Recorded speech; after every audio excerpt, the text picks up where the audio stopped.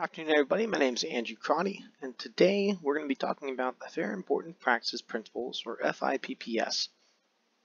Uh, this is going to be going over a collection of limitation principles uh, which is going to be helping out showing explaining the collection of personal data, any such data that should be obtained by lawful or fair means when appropriate with the knowledge or consent of data subject. So some of the objectives that we're going to be hitting over for this are describing your understanding of FIPPS to include transparency, individual participation, purpose specifications, data minimization, use limitation, data quality and integrity, security, accountability, and auditing.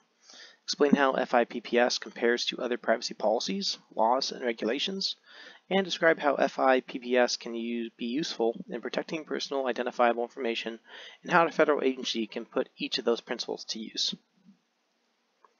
So first off, what is FIPPS? So this is, provides a framework for privacy policies and they ensure that personal information is collected and used for specific, limited purposes that is accurate and secure.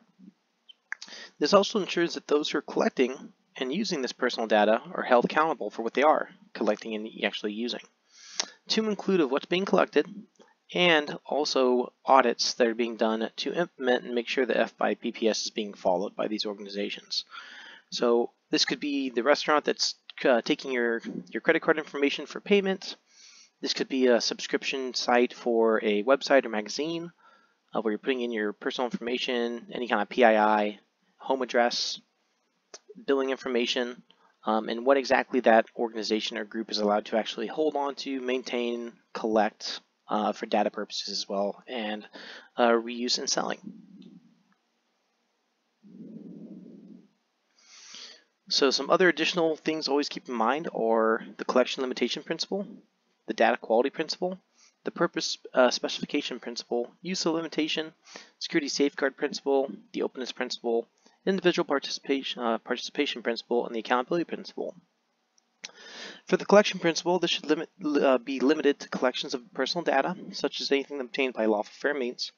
For the data quality, this is anything that be relevant for the purpose of which they are being used and the extent necessary for those purposes should be accurate, complete, and kept up to date.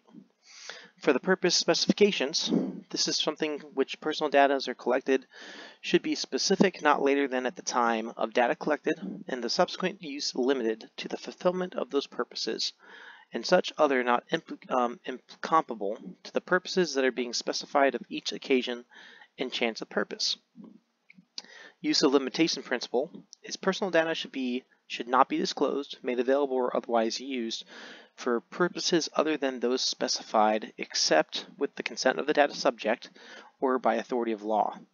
Security safeguarding principle, personal data should be protected by reasonable security safeguards and such risks at loss or unauthorized access, destruction, use, modifications, or disclosure of data.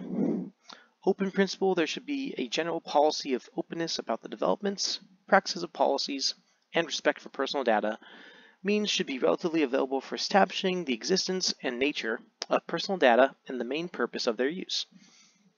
Individual participation principle is an individual should have the right to obtain that data control or otherwise confirm or other or not to that data control.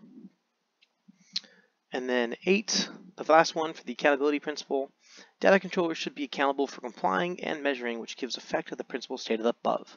So accountability would fall under your audits, making sure that that's actually being tracked, maintained, and kept aware of.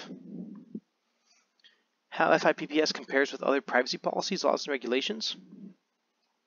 You could compare this to um, such things such as HIPAA, which also uh, is a lot is used by most hospitals to protect your information from uh, outside sources trying to obtain that. Um, in comparison, once again, you have laws and regulations uh, that as FIPPS are much more broader in scope.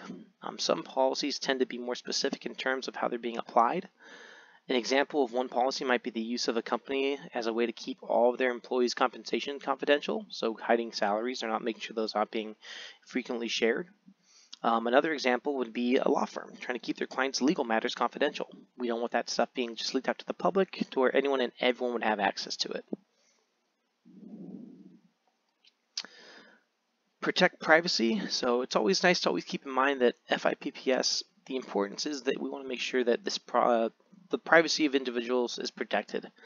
Um, so if information is um, either hacked, obtained, leaked, deleted, um, it's having that accountability, one, that they're being held to that standard to make sure that it's transparent, and to make sure that individuals have a way and say of how their information is being used.